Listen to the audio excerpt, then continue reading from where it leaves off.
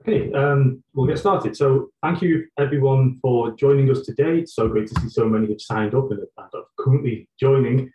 Um, and also good morning, good afternoon or good evening, depending on where you're joining from.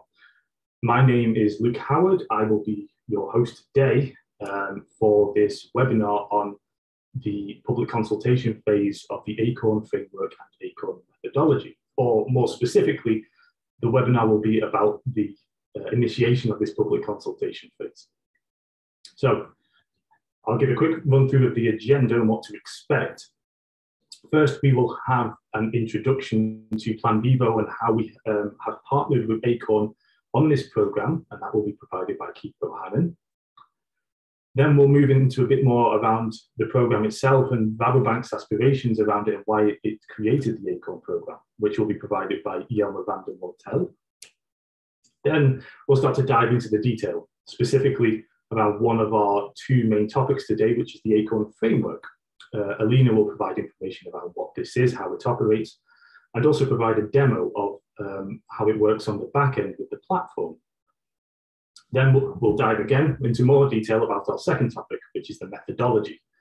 Uh, how the ACORN methodology operates, um, how that works to calculate climate benefits, and Alina will talk through this and also provide another demo, but this time we'll look at um, how it operates to do with GIS. And then we'll round off the uh, webinar today with a Q&A session, which I'll, I will provide some more information on shortly. But first, a bit of housekeeping. So everyone's on mute, as you probably already realized. Um, and you can submit questions for that Q&A session using the Q&A box at the bottom of your screen. Uh, we request that you use that box rather than the chat box because it's easier for manage to manage and that's where we will be looking uh, when it comes to the Q&A session. The webinar will be approximately 60 minutes and it is currently being recorded and will be uploaded onto the Plan Vivo website as soon as possible uh, after the webinar. So you're more than welcome to share it with your colleagues any documents that we refer to today, such as the framework and the methodology, will be available on the Plan website again as soon as possible. But as soon as possible. A bit of information though before we get started on the public consultation, since that's what this is all about. Um, the public consultation is an opportunity to provide your feedback on this framework methodology will be open for month.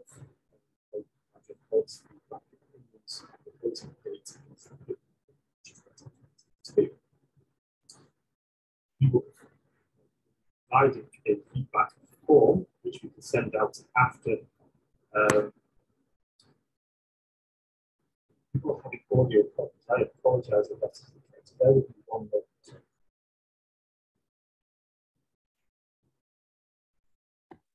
Sorry, audio is, yeah. You're interrupted. How's that? Better? Okay. My apologies, everyone. Um, I'll start this slide again then. So yeah, the um, a bit of information about the public consultation, since this is what it is all about. Um, the public consultation is your opportunity to give feedback to um, on the methodology and on the framework to ACORN and the Plan Vivo Foundation. Um, and the closing deadline for this is the 15th of March 2022. So if you could provide any feedback before then, that would be great.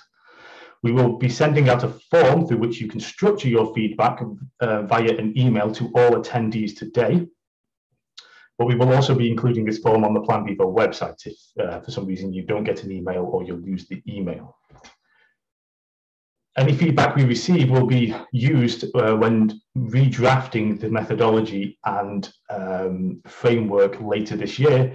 And if you have any specific questions regarding this, or you want to know a bit more about ACORN, then we recommend that you contact Alina, uh, one of the speakers today, at the email address on the slide there.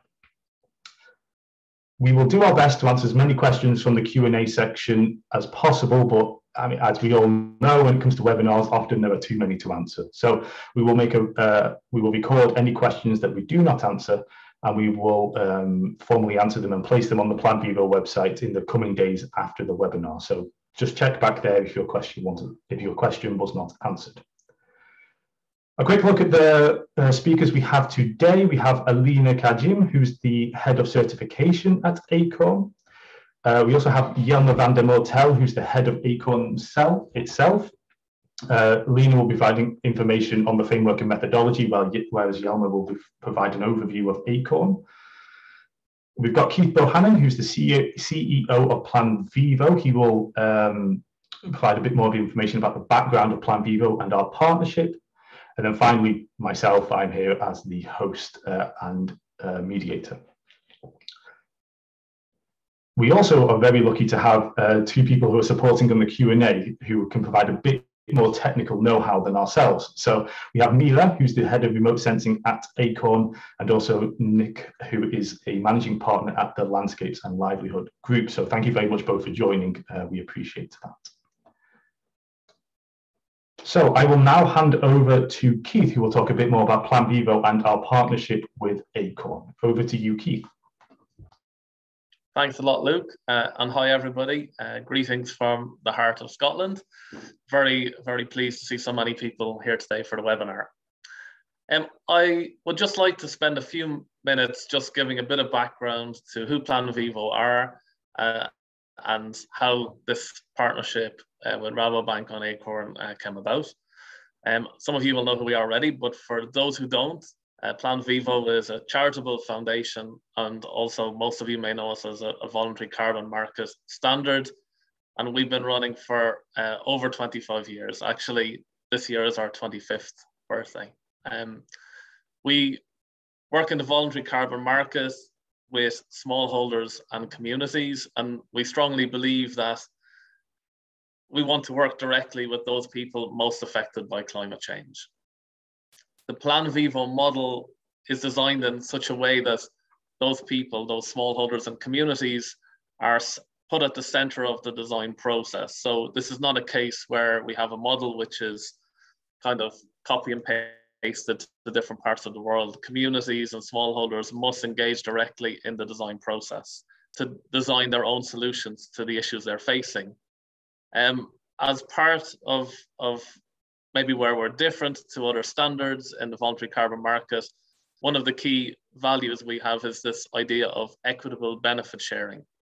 So really important that these communities can access the voluntary carbon market and we want to make sure that the benefits, the, the, the carbon finance goes back to those communities. So at least 60% uh, of that benefit must go back uh, to those communities. And finally, another USP from Plan Vivo is that we have a holistic model for natural climate solutions. So yes, of course, we're a carbon standard and we're certifying real additional and verifiable carbon benefits, but also alongside that, we are making sure that there are long-term social and livelihood benefits um, and also for both people um, in terms of resilience strengthening and also for biodiversity conservation. So um, so talking more about that holistic model. So we have, these are the key components of the standard requirements, which you can read online. We have some requirements very much around that participatory design aspect, obviously around the carbon, uh, which has to be very clear, but also on the social impact and biodiversity impact. And, and that's how we measure our impact uh, in all these areas, not just in ton, terms of tons of CO2 emission reductions, but also in terms of number of people reached and in terms of number of hectares under sustainable land management. Next slide, please.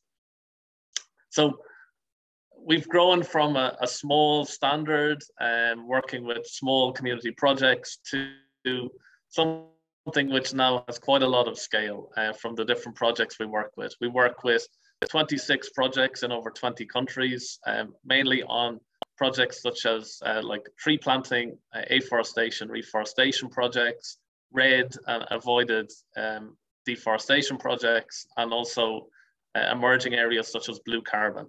And so our, our strategy is to grow those, but also to look at branching out, which is part of where this partnership came from, to partner with other organizations that have similar values and similar ambitions to us, uh, where we can kind of work together to maybe increase our impact. And also to look to broaden the influence we have on uh, in terms of representing people we work with within the Plan Vivo network. So our aim is to scale with care, is to grow the impact, but to not lose the values from, from where we come from. Next slide, please. And that's the background to where these discussions uh, led to this partnership, which we've been working with Rabobank for over a year now. And I think as a kind of setup for the, for the next discussions, it's worth bearing in mind that this came about from a partnership that's come from common values, complementary strengths, and common goals. And Plan Vivo uh, in the Acorn partnership, we are the certifying standard. We, we've worked very closely with the Acorn team uh, to, to review and approve the framework and the methodology. And the common goals we have are that, that renewed focus on smallholder farmers, harnessing innovation, which you'll hear more about just now, to facilitate this equitable access to carbon finance, and making sure that any carbon benefits delivered are really robust, but bring with them also those wider positive impacts for people and nature. So I'll stop there and pass over to Jelmer to tell you a bit more about Acorn and um, before we go into the details. Thank you very much. Thank you, Luke, and thank you, Keith, and fully acknowledging the strong partnership that we have with Plan Vivo. Uh, it is a very constructive co-creation uh, with a common goal indeed to support smallholder farmers. Why Rabobank, you may ask? In the first place, to support those smallholder farmers, to increase their productivity and protect them for the impact of global warming. Also enabling climate equity and climate finance for those that need it most in our belief and help them to grow this, uh, the transition to sustainable farming. As such, the carbon market, the voluntary carbon market, is not a, is not a target on itself. It's a means to an end. As Global Food and Agri Bank and founded as a cooperative by farmers, it always has been in our DNA to support farmers in those transitions.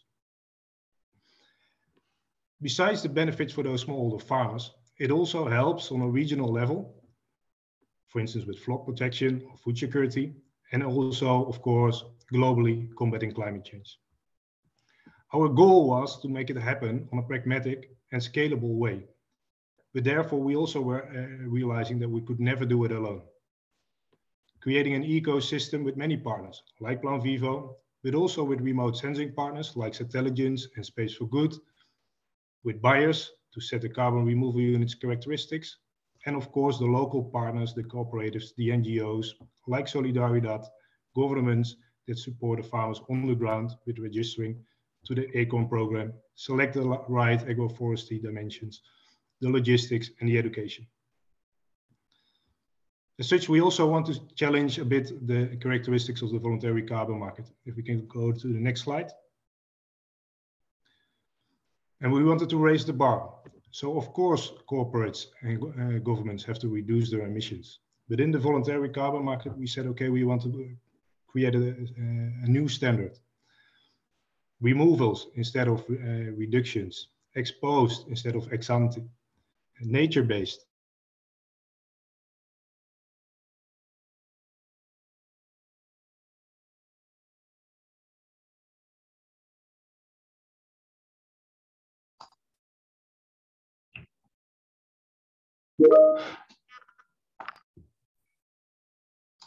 Jelmer, sorry, I think we're having some difficulty with your mic. Um, you dropped out after the word nature-based. Just checking if you're able to uh, reconnect on that front.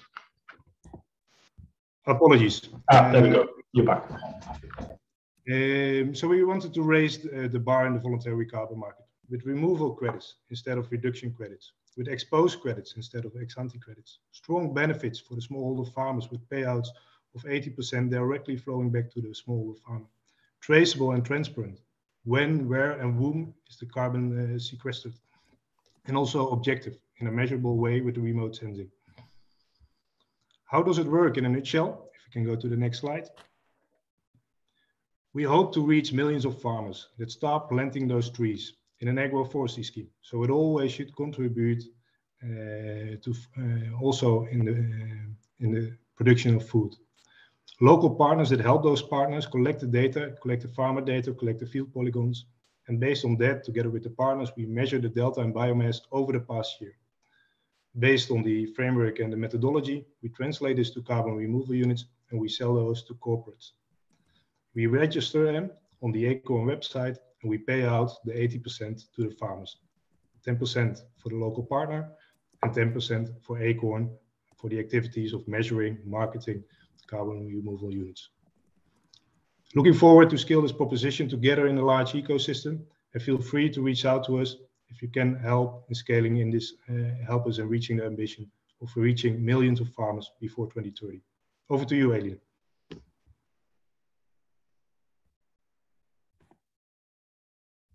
Sorry, I first had to unmute myself, so I'll go back to the slide now. Hi, everyone, and uh, thank gentlemen for the great introduction. Uh, my name is Eline Kaim, um, and I'm here to dive into the methodology and framework a bit more now that we have had the introduction. Uh, by the end of last year, we already got the opportunity to announce the Acorn framework, and it has been uh, available online for a couple of months now. But here today, we're now also to complete the entire application framework by publishing the um, methodology that's related to the Acorn framework. So without further ado, let's dive into it. I'll start by the framework. Um, when we started to, to finalize the, the concept of Acorn, we saw that there were many barriers for entering the voluntary carbon market for smallholder farmers. Um, probably all aware of you, but the high certification costs, but also the complexity of the existing standards and methodologies out there. So what we did, we went to all different uh, standards and start to explain that we were looking for a methodology that was particularly focused on the voluntary carbon market, ex post uh, credits that were particularly focused on smallholder agroforestry projects. Well, it turned out there was not such specialized methodology and framework out there yet. So what we hope to reach with, with developing this is that we are able to generate a more scalable approach uh, and also uh, facilitate the transition to a more sustainable agricultural practice and particularly at farm level.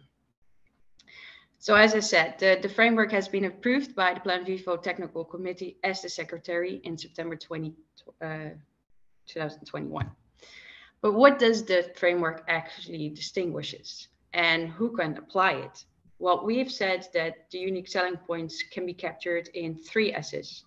So we allow a sample-based approach where normally you are expected to uh, certify each single projects, we now have an Acorn umbrella uh, in which we all have separate projects, but we are actually, uh, through having a standard, we are now able to implement um, sample-based monitoring. The second one is the scalable approach. It actually allow this methodology allows us to implement satellite technology and allowing us to reduce uh, the cost for monitoring quite extensively. And then the last one, and it's also something that the VVBs who validated it um, have recognized, is that the approach has become simplified. It's much easier to understand, but also uh, the approach to additionality has a simplified version and um, monitoring the socio-economical elements of it. But then who can apply it? Uh, eligibility uh, assessments are done also within ACORN, but we have split it into two separate elements. So first of all, as Jan already mentioned, the local partner are a very important stakeholder for us. Um, they are the ones on the ground and in contact with the farmers. So what we look into is if they have the capacity to undertake long-term projects, if they have the ability to mobilize the necessary resources. For example, think about nurseries, but also agronomists to make the agroforestry designs. And does the local partner have the experience and the skills to train farmers to implement the agroforestry and help farmers monitoring all, the, all that comes with the particular project activity? Well, then diving into the farmers that are linked to these local partners. We within Acorn say that smallholder farmers should have cultivated lands between 0.1 hectares and 10 hectares. Farmers should be able to demonstrate the land tenure and the carbon rights. We, through our local partner, we will do a verbal check uh, if no deforestation has taken place, and we'll combine that by a more remote check to really make sure uh, no clearance has taken place before that. Um, additionality, I will come back to that topic in a bit, um, should be demonstrated. And also we allow existing agroforestry to be onboarded on the ACORN program. Good to know is that agroforestry should then not be implemented later than five years ago. And uh, the CO2 that's being sequestered must not have been monetized yet.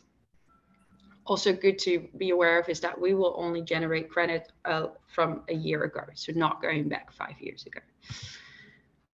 Then the ACORN framework highlights 10 principles that I quickly want to go through with you.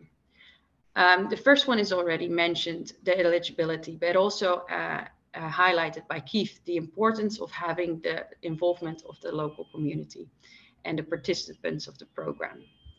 The framework also describes what responsibilities are out there for different stakeholders and all CRUs that are being delivered within the ACORN program are generated with integrity by being additional and having real project interventions. Uh, CRUs are realized uh, based on ex-post uh, methodologies. And besides the carbon that's being sequestered, we also demonstrate the uh, social impact and environmental impact that our projects have. The CRUs are data driven and uh, we will make sure that any actions are taking for potential CO2 emissions. Uh, the CRUs that are delivered are registered on the Rabobank registry, and all our CRUs come with a durability period of 20 years. Also, that topic I will address a little bit later. Then the last two uh, principles, we implement a uh, risk reversal assessment. And as a bank, you can imagine that all the data that we acquire uh, for the projects must be handled with the highest level of integrity and therefore we ask all stakeholders to complete a data consent form. Well, having slightly touched upon that, these principles, uh, underneath these principles, we have a set of requirements. Uh, all can be found in chapter four of the framework. But to say so, the additionality. So additionality can be addressed within the ACORN program in two uh, by two separate elements. First of all, we have implemented the, the well-known barrier uh, analysis that has also been used by other projects within Plan Vivo, but we're also working to develop a agroforestry specific positive list, which would allow um, projects to demonstrate additionality by simply answering a few questions. Good to know is that we're still validating this approach, so it cannot be used as a standalone approach as of yet uh, but hopefully we can once we have validated further. Well, due to the nature of um, ACORN and, the, and implementing agroforestry, we didn't see it as suitable to implement the concept of permanence. And therefore, we are introducing the concept of durability, which means that our CRUs uh, have a durability of 20 years. Um, then all projects shall supply 15% of the CRUs that are generating to the buffer pool in order for any unforeseen premature losses of the carbon sequestered. Um, next to the carbon baseline that's being generated, we generate a project baseline. And this is mostly to monitor the socio-economical and environmental impacts. Well, you see two pictures on the right side there. Uh, these are uh, elements that we require all ACORN projects to monitor because it allows us to aggregate this information and really demonstrate how agroforestry act is actually benefiting uh, the environment. So local livelihood is being um, monitored to, through two KPIs, um, the farmer income through um, carbon finance and um, the availability of nutritional variety and the environmental improvement is being monitored through the Gini Simpson index and really gives us an indication of how the agricultural biodiversity is. Well, I think Jelmer already mentioned this, uh, but what I think is good to be aware is that the um, CRUs are sold for a minimum price of 20 euros. 80% uh, goes flows back to the farmer, and that can be either in cash payment or in-kind contributions. Uh, in the framework, you also find a list of what are considered uh, suitable in-kind contributions. So far the framework. I like to take this opportunity to also give you a sneak preview of um, the platform, the Acorn platform. I have a short demo on the local partner, and after that, I go right into the platform of the buyer. So let me see how this works. Does it play? Yes. So welcome at the local partner dashboard. You already see that the local partner here has 101 farmers and 166 CRUs. The one on the left shows how many farmers are within Acorn already and the potential that it has in the same neighborhood. It shows the onboarding status of the farmer. And on the right, you see how many farmers have already been paid out and how they need to be paid out. Then if you scroll down, you see the vintage of the, uh, the CRU and you see what the main crop is that the farmer is producing. Here's what CRUs are available and which one are sold. And to who they're sold to. Please be aware it's all demo data, so it's not uh, real. So let's dive into the payout, which I think is really great. Here you can see a list of uh, the farmers that needs to be paid out. Um, these can be, oh yeah, and now we go to the other one. You also have a list of farmers that are already paid out. So it's very fairly easy for the local partner to select a number of farmers or select all farmers and then indicate whether they have made the payment and in what kind, uh, what they have done. Is it partially uh, cash and partially in kind or all cash? And that's then being updated. Well, we also realized that it can all be done online uh, at the at the um, platforms themselves or the plots themselves. So therefore, we also have a list that you just saw that can be downloaded. Now let me go through because now it is the same thing again. Let's go to the partner one, uh, the buyer one. So here you have the in-log screen. I didn't show it with the local partner, but it goes the same way.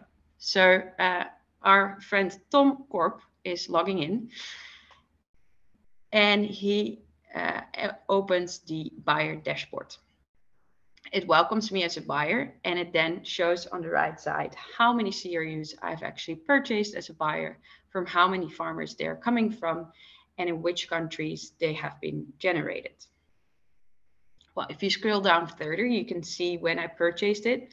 And here you can also already see that I'm planning to purchase another 50 CRUs in 2022 a more detailed overview of which countries the, the CRUs are from, and also, once again, the vintage year of the CRUs. But you can go into more detail in this year over the CRUs, and you can have two different screens. You can either see it on a map and collect per country or per vintage year or the intermediary that you bought from. Um, or you can see it as a list. We'll go there in a second.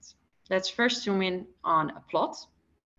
Here you can actually see the farmer details of the plot. So John 23 has generated 60 CRUs that you have bought from John 23. It also shows that his main income is coming from coffee and that he uh, was already working on agroforestry when he got onboarded on the Acorn program. Well, for so far, uh, uh, short uh, preview of, of what you can see already in, in the Acorn um, platform. Oh, no, it goes on. Sorry.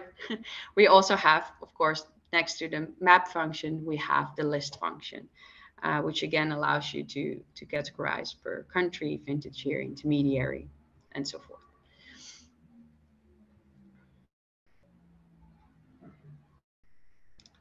There we go. So for so far, the methodology I, of uh, the framework. I would now like to go into the methodology, the carbon quantification for small-scale agroforestry projects. This document starts by uh, defining what the applicability conditions are. And also, once you've seen the applicabilities, you know that this methodology can be applied to any project. It then justifies which carbon pools are being considered and which uh, emission sources are being considered.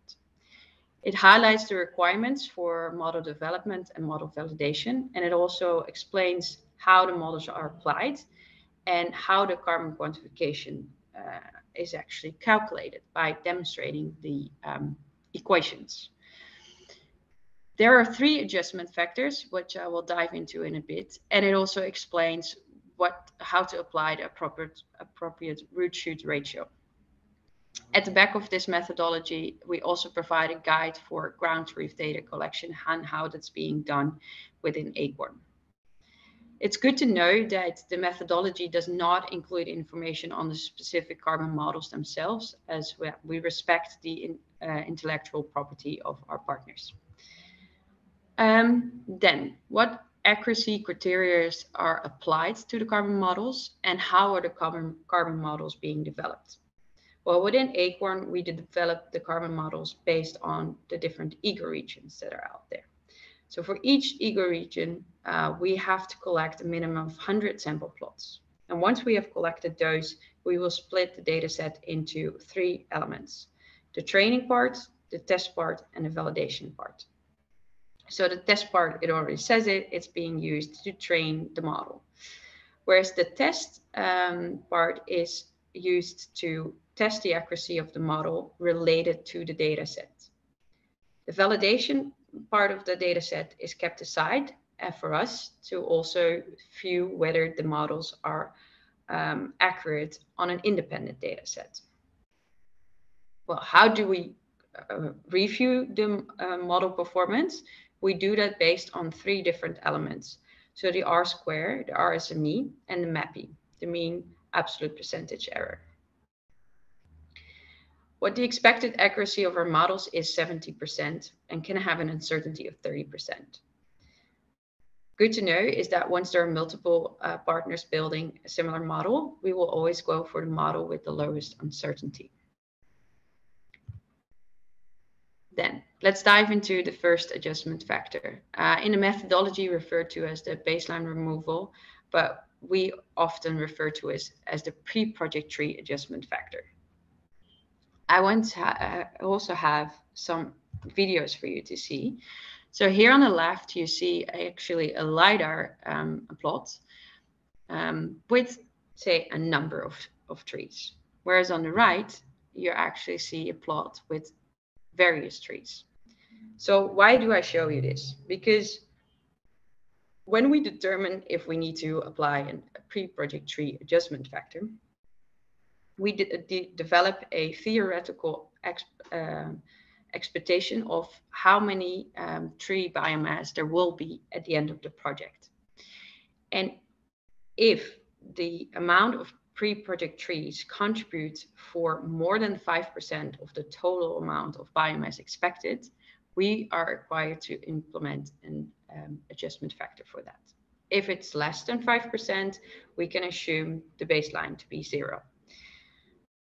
Um, if you, uh, so, so this, once we have to determine the adjustment factor, we will do a number of calculations on a number of sample plots, which we can find uh, equation one to three in the methodology. But while working with um, satellite imagery, it's also good to keep in mind the uncertainty of the measurements. Uh, and these are being considered through equations seven and eight as presented here. So all individual above ground biomass uh, measurements uh, will be, an uncertainty will be calculated uh, as seen in equation eight. This then again provides us input for equation seven, where we find the um, uncertainty of the temporal change of the above ground biomass. So the outcome of equation seven um, gives us an indication of what uncertainty adjustment factor should be applied. This can be seen in the table on the right, meaning that if the uh, uncertainty outcome is below 50%, we do not have to adjust for it. If it's more than 50%, we will have to apply an adjustment factor. That even goes on to 100%. Then the last adjustment factor, uh, which is the adjustment factor with regards to leakage. Um, leakage considers three parameters. Uh, first of all, when we start working with a project and uh, we develop a business case. And in this business case, we also uh, check whether we expect any loss in productivity throughout the project. Well, if that's the case, then we will look into what's the proportion of the project area where this potential productivity loss uh, could take place. Um, and that's then being provided as input for A here. The last parameter is the type of land. So um, if the plot is surrounded by, say, cropland or degraded land, we expect the likeliness of leakage taking place to be limited. Whereas if the surrounding area of the plot is considered wetland or forested land, uh, the likeliness of leakage taking place increases. Um, I can show you how we do that by the following demo. Um, so you see here a map and let's zoom in on uh, some plots in Colombia. So the red dots that you see here, zoom in further, you actually see the plots. So we zoom out a little bit because what we do is we'll add a buffer of 5% to all individual plots and we aggregate these so that you get an yeah, outer line of where the, where the plots are. And this is then being combined with a data set or data layer actually that indicates the different land types. So here, for example, you see in yellow is the um, cropland, uh, but in purple, I think it, I'm not too sure. I won't risk me there what it would be. But, and then um, there's also a second data layer that you see now, the black and white data layer. And that actually shows us um, whether there is forested land or not. So the, the land type you saw before only shows tree cover, but doesn't indicate whether it's actually tree um, density of more than 60% of tree density of less than 60%. And that's the cutoff value where we say it's forested land or not. So this is an approach that we use to determine the uh, leakage factor. Um, and that outcome also directly gives us input for what uh, adjustments should be taken in consideration. Then I have one more demo before I round off my story. Uh, another uh, lovely map with a lot of colors. Uh, what you see here is actually the ecoregion check. So this is based on the data layer of WWF. And what you can see, we now zoom again on a number of plots in Colombia and you actually see here that it's being placed in two different ecoregions. Um, and I think so far, uh, everything I wanted to highlight to you today uh, about the framework and the methodology. I hope it was insightful for all of you. Um, and we kindly ask you to provide us with input uh, on both documents through the feedback form. Um, and uh, all in the same feedback form, you also find a short questionnaire we would like you to complete if possible. And feel free, uh, as people have already said, to reach out to me if you have any further questions. Now, I would like to give the floor um, back to, uh, to Luc. Uh, That's super. Thank you, Alina, and thank you everyone who's uh, spoken so far today. Um, super interesting. Apologies, I think we had a couple of technical difficulties during that, um, so apologies for that, but hopefully everything is resolved now. Um, so plenty of time for the Q&A session, which is good. It's a nice change. Usually uh, you plan 15 minutes and get 10, so it's nice to have gone the other direction this time. Um, I'd like to, and yeah, thank you for all the questions coming in already. I'm already seeing a few uh, themes, which is promising. It means we can get quite a few answered. Uh, I'd like to ask a first question now of my own. I think there was an area that might not have been covered, but we uh, I think it would be useful to go into a bit more detail for those who are about to read the methodology. Uh, specifically, it's around the baselining. Um, I think it would be good for Nick. Uh, Nick, would you be able to give a bit more of a description around the requirements uh, in the baseline and assumptions related to livestock and soil organic carbon, and then the reasoning around this? Sure. Yeah, I think you're talking about the applicability conditions, perhaps for the methodology. Yeah. Um, which I mean, I guess those of you who are familiar with the structure of these methodologies will this will be uh, nothing new, hopefully. But the methodology starts with a description of the areas and activities that it can be applied to, and these firstly relate to meeting Plan Vivo's basic requirements and then the requirements of the, um, the ACORN framework as well. Um, so focusing on agroforestry activities and in small parcels of land being some of the main ones. Um, next, I think as mentioned already, I mean, the, the methodology is only for quantification of um, carbon benefits from changes in um, above ground and below ground biomass of woody, woody um, vegetation. So to enable that focus on those that those carbon pools, the there are applicability conditions in there to exclude activities that would increase emissions from other sources or decrease um, other carbon pools. So things like not increasing numbers of livestock, not increasing fertilizer additions um, or fossil fuel use. Um, and lastly, there's a, a, condition around harvesting and um, the methodology can't be applied when there's planned tree harvesting because the, the accounting approach uses a stock change rather than an average stock approach, which would be required if there was planned tree harvesting in there. So yeah, mostly around meeting eligibility criteria and being able to conservatively exclude um, some of the carbon pools and emission sources. Thank you, Nick. That's great. Uh, so I'll start diving into the questions that have been sent in then. So uh, I've seen a few questions on this requirement around minimum, uh, minimum hectare size, uh, sorry, maximum hectare size for smallholders. Uh, specifically, plot sizes have to be between 0.1 hectares and 10 hectares. And we've got a few people asking, well, why, what's the justification around this?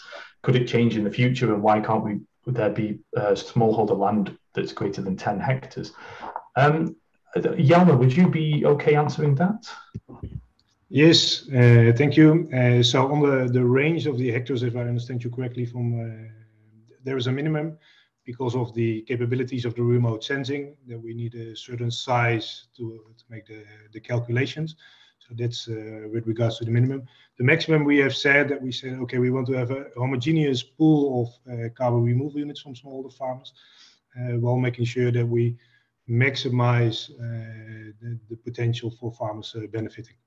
And what we see is that with this boundary on uh, 10 hectares, and of course the definitions of a smallholder farmer differ across uh, various uh, bodies, across countries, and also uh, across uh, commodities. With 10 hectares, we are still able to serve the majority of the uh, farmers in the developing countries. So in Latin America, in Africa, and also Southeast Asia and India. Great, thank you, Jelmer. Um, moving on, I've got a couple of questions for Mila um, around uh, Mila, you being the remote sensing expert here, uh, around the remote sensing side of things. Um, the first one is um, someone's asked about the minimum number of sample plots that can be used to create a model uh, and like where this data can come from. Like, is it just remote sensing models, or are there actual measurements on the ground to train these models? up. Would you be able to provide a bit of information there? Yes, of course. Perhaps I should uh, I should clarify a little bit. So the minimum number we said 230. Of course, this is not uh, the optimal number, but statistically, this is backed up uh, by literature. Uh, what our common practice is, of course, 100 uh, as a minimum that we require. And in order to train the models, we need uh, actually three types of data. So there is ground truth data, which is collected in the field as described in the methodology. Uh, so we go to the plots, we measure uh, the number of trees, the size of the trees, uh, we record the type of trees as well, and we also um, conduct a questionnaire with our intermediaries. Um, and then what they report on is um, also planting date and, and um, um, management practice. We use this data, we combine it with LiDAR airborne or airborne data, and then also satellite image as well. And all of these uh, data sources are input for, for our models. Um, yeah, input for our models. That is it. Great, thank you. And whilst I've got you on, I have one more. um, would I've had a few questions. Again, I'm trying to choose the ones that have been asked multiple times, and one that I've seen a few times is: Can we use this methodology for anything not related to Acorn? Does it have to go through Acorn for someone to apply this methodology? Um, well, the methodology has been written to be publicly open and accessible to everybody. When we were writing that methodology, this was also something that we had to keep in mind. This is also why it is posted publicly to everybody. So if anybody wants to calculate carbon removal units uh, for smallholder farmers using satellite data, then they can, uh, they're free to follow, to follow it. Um, there is no reason not to. Great, thank you. Good news. Um, okay, we've got quite a few questions as well. I think, uh, Alina, you, so this will be for you. Uh, you touched a few times on uh, the term durability, and we've got quite a few questions about people. I think the market's generally used to the word permanent. So would you be able to provide some information around um, the difference between durability and permanence, the justifications for its use? And I guess linked to that, we've had a few questions around, well, what if losses occur after planting? How is this reconciled? Um, so yeah, if you could provide some more information on that, that would be great. Yeah, absolutely, uh, Luke. Thank you. Um, yeah, of course, uh, we we do recognize that that the the concept of permanence was was something uh, that that the market was looking for quite a bit. You saw permanence uh, for for hundred years or, or sometimes a little bit less, but well, due to the nature, uh, I think, of the the type of project interventions that we have, planting trees, uh, having uh, more sustainable agricultural practices, I don't think you can expect uh, the carbon to be stored for uh, so such a long time, because we also want to consider the agricultural practice. So it, the, the practice there still needs to remain productive as well.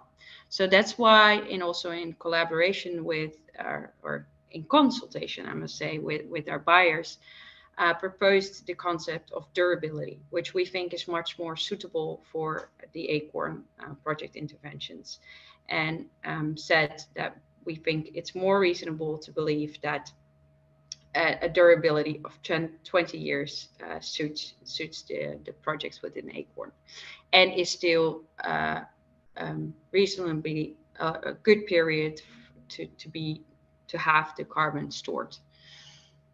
Um, I hope that answers a bit of the questions there, but uh, otherwise others feel free to add.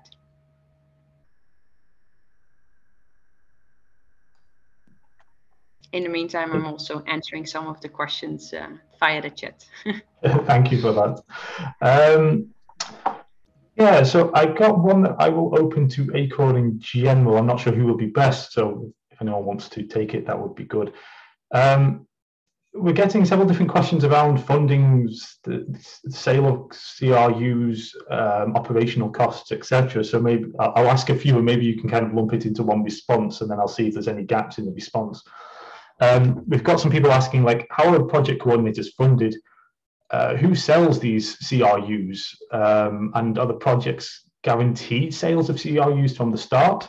And uh, can projects coordinators operate on 10% income from the sale of CRUs. So uh, I don't know who would be best for that question.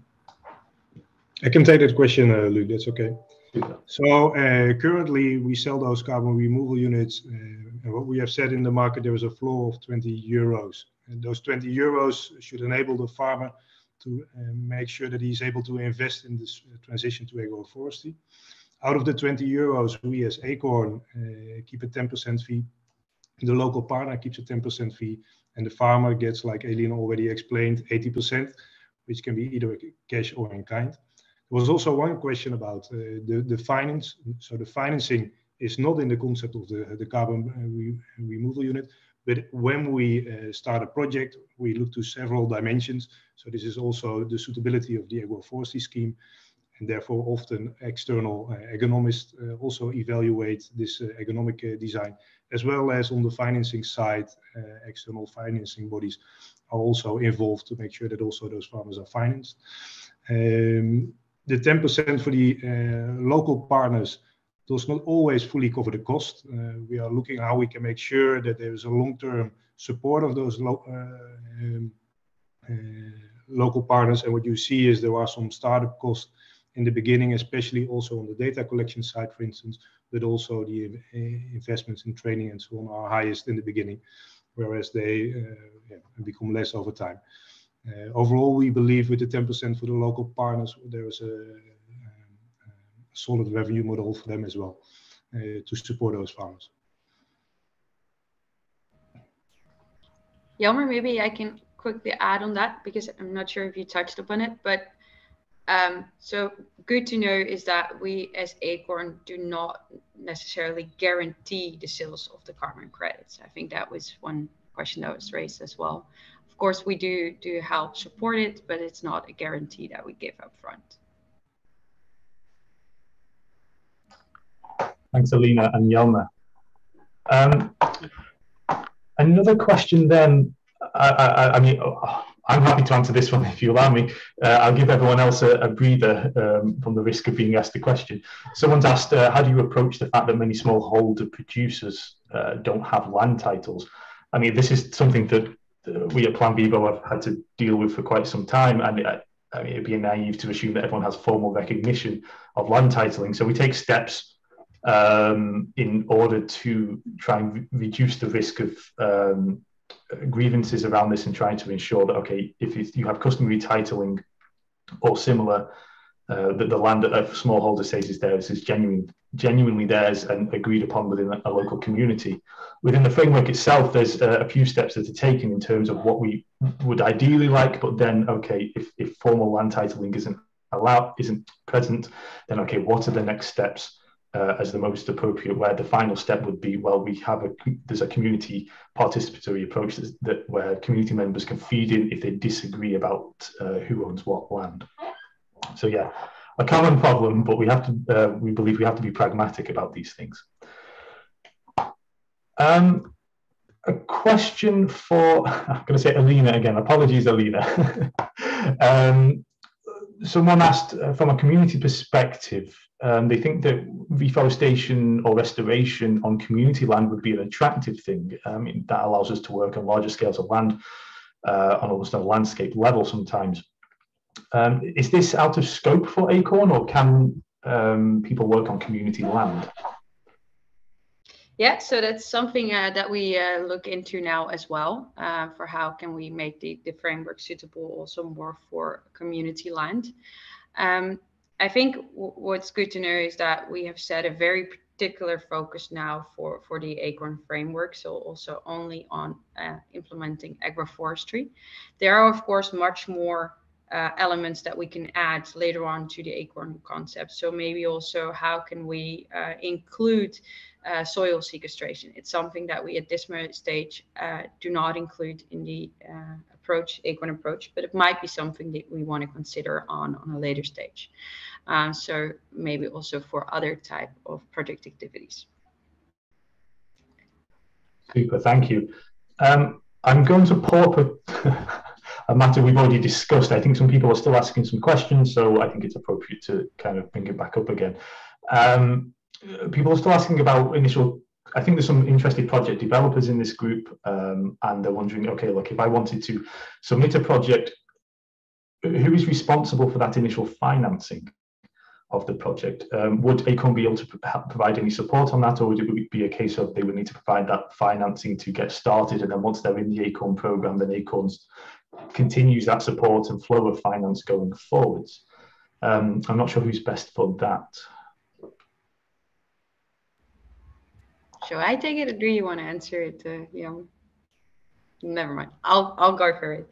Um, so uh, also uh, arranging also arranging the, the, the finance upfront is something that we have not set as a particular element of the Acorn proposition nonetheless, I think we're Rabobank, we are in the position to help um, projects find the, the proper uh, financing uh, in order for them to, to get the projects developed. So uh, we have within the Acorn team, we have uh, various people that are focused particularly on, on the financing.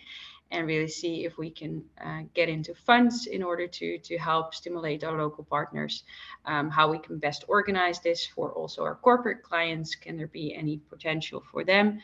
Um, so it's definitely something that we want to facilitate, um, but it's not uh, upfront financing is not something that we can guarantee already. Jelmer, is there anything you want to add to that? No, I, um, uh, I think like you mentioned, so uh, in, in, comparison to ex-ante uh, carbon credits, those ex-post credits do not in itself carry any financing. Uh, but as a bank, we are always, uh, yeah, we have uh, dedicated people in the team that support on arranging the financing of local projects. Super, thank you. Um, I'll say one last question then. I'm conscious of running over. Everyone's super busy these days. Um, uh, hopefully a relatively easy one. Someone's asked a bit more, has asked for a bit more information about the monitoring period, the verification periods, how often these are. So how often does monitoring take place? How often um, does a verification need to take place or can take place? Um, I'm conscious of giving it back to you, Alina, but would you like to? No worries, no worries, no, not a problem at all. Um, so what we have said is that what you often see in the current market is that projects are being verified on a five-year cycle.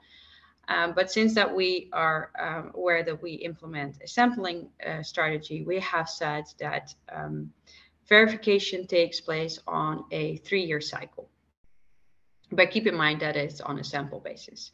Um, also um, there is a difference in in what we monitor for more the socio-economical elements because um, of course there there are elements of a project that we want to have yearly updates on so for example if there are any grievance being reported we would like to know we don't want to have projects only reporting this uh, every three years um, but considering, uh, for example, more socio-economical parts, uh, there it would not make sense to ask the projects to update that on an annual basis because the, the impact might not be as significant.